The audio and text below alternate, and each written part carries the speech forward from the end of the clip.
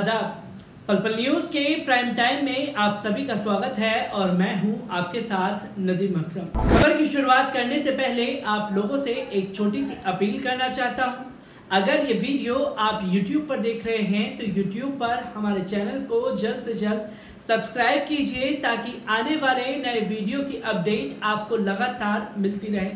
और अगर ये वीडियो आप फेसबुक पर देख रहे हैं तो फेसबुक पर हमारे पेज को लाइक करना ना भूलिएगा। बढ़ते हैं खबर की तरफ़। कर्नाटक की गलियों में आजकल अफरा तफरी का माहौल लगातार बना हुआ है और वो इसलिए कि आईएमए कंपनी के मालिक अचानक गायब हो गए हैं, जिसको लेकर के अब सुर्खियों का बाज़ार गर्म होने लगा है।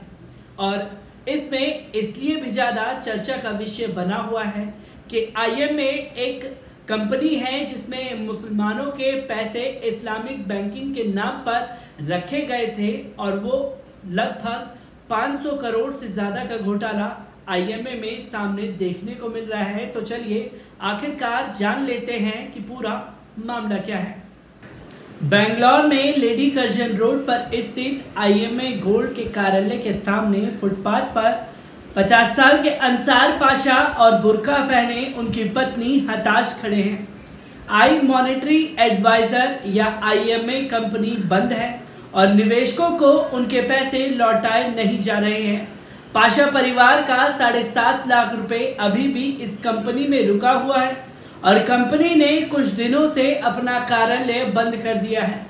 पाशा कंपनी के उन 8000 निवेशकों में से एक हैं जिन्होंने पिछले 48 घंटों में पुलिस के पास धोखाधड़ी की शिकायत दर्ज कराई है। पुलिस में दायर इन शिकायतों से शुरुआती अनुमान यही लगाया जा रहा है कि ये करीब 500 करोड़ रुपए का घोटाला हो सकता है। सिटी मार्केट इलाके में नारियल का कारोबार करने वाले पाशा ने पिछले तीन सालों में कंपनी के हलाला बैंकिंग स्कीम के तहत आईएमए गोल्ड में 10 लाख रुपए का निवेश किया था। पाशा ने बताया कि हमें प्रति लाख ढाई से तीन हज़ार रुपए हर महीने मिलते थे। लेकिन पिछले कुछ महीने से हमें एक हज़ार रुपए प्रति माह मिलने लगा। हमें बताया गया कि इसमें उतार चढ़ाव होता रहेगा। पाँच महीने पहले उन्होंने अपने निजी खर्च के लिए ढाई लाख रुपए निकाले। जब ब्याज एक प्रतिशत भी नीचे आ गया तो उन्होंने अपने बाकी निवेश की चिंता होने लगी। चिंतित पाशा कहते हैं, मैंने अपना पैसा निकालना चाहा, लेकिन उन्होंने इनकार कर दिया। आईएमए ग्रुप के एकमात्र मालिक मोहम्मद मंसूर खान हैं, जो अचानक गायब हो गए हैं और दो दिन पहले एक ऑडियो क्लिप वायरल हुई, जिसमें कथित रूप से उनकी आवाज़ है। इसमें उन्होंने आत्महत्या करने की धमकी दी है। पिछले कुछ महीनों से एक प्रतिशत ब्याज मिलना भी बंद होना और ऑडियो क्लिप के वायरल होने के बाद हज़ारों निवेशक आईएमए गोल्ड के कार्यालय के सामने इकट्ठा हो गए। रमज़ान के चार दिन बाद भी जब आईएमए कार्यालय नहीं खुला तो निवेशकों में बेचैनी छा गई। पाशा के अनुसार हमने अपने पूरे दस्तावेजों के साथ पुलिस में शिकायत की। पाशा की तरह ही सैयद रफीक ने केवल एक लाख रुपए जमा कराया था। वो कहते हैं, मुझे बीस हज़ार रुपए वापस मिल गए। लेकिन मैं शिकायत करने जा रहा हूँ। हमें छोटे कारोबारी हैं, जिन्होंने यहाँ अपना पैसा लगाया है। हमें ये कम से कम अपना मूलधन तो वापस मिलना चाहिए। उनसे कुछ ही दूरी पर खड़ी भारती मनोहर अपने बैग में पूरे दस्तावेज़ लेकर आई हैं। उन्होंने अपनी बेटी की शादी के स्कीम में और अपने बेटे बेटी की पढ़ाई के लिए एक अन्य स्कीम में निवेश किया था।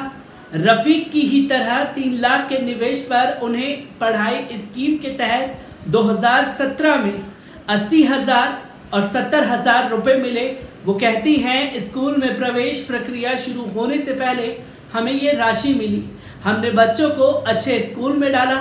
इस्लामिक बैंकिंग में भारती की रुचि इसलिए हुई क्योंकि उनके पति मुस्लिम हैं।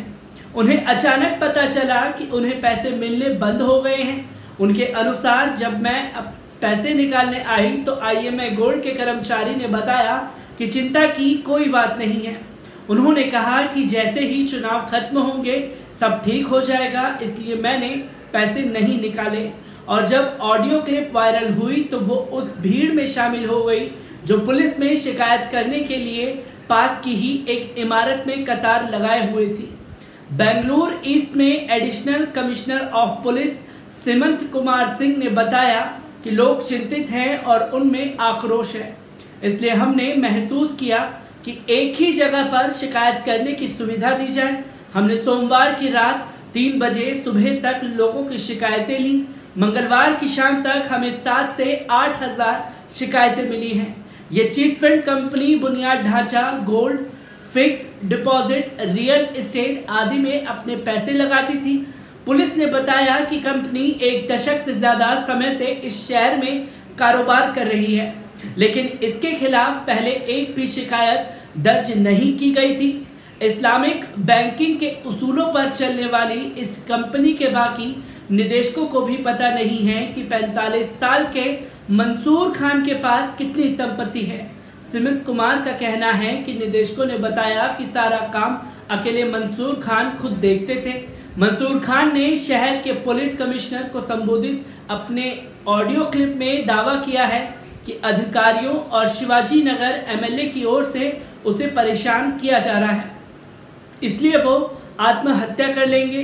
खान ने उन पर लोकसभा चुनाव लड़ने के लिए 400 करोड़ रुपए मांगने का आरोप लगाया है, क्योंकि कथित तौर पर उन्हें कांग्रेस पार्टी से टिकट मिलना तय था। शिवाजी नगर के विधायक रोशन बेग तब सुर्खियों में आए थे जब एग्जिट पोल के तुरंत बाद ही उन्होंने कर्नाटक के कांग्रेसी नेताओं और पार्टी के जनरल सेक्रेटरी के सी वेणुगोपाल पर निशाना साधा था। हालाँकि बेग ने अपने ऊपर लगे आरोपों का खंडन किया और कहा कि आईएमए ग्रुप को वो इसलिए जानते हैं क्योंकि उसने उनके क्षेत्र में एक स्कूल खोला था, जहाँ भारी संख्या में छात्र पढ़ने आते थे।